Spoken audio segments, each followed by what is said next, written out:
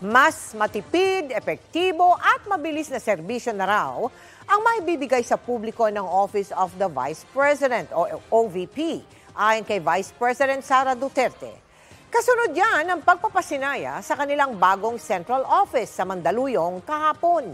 Ani Duterte, ngayong nasa iisang gusali na lang ang mga kawani ng OVP, maasahan daw ng publiko na mapapalawak pa ang kasalukuyang programa ng kanilang opisina para makatulong sa marami pang Pilipino na nangangailangan. Hindi natutulog ang mga balita. Kaya para sa pinakasariwang balita, mag-subscribe kayo sa aming YouTube channel. Para sa mga kapuso abroad, pwede nyo rin kaming makasama sa GMA Pinoy TV at sa www.gmanews.tv.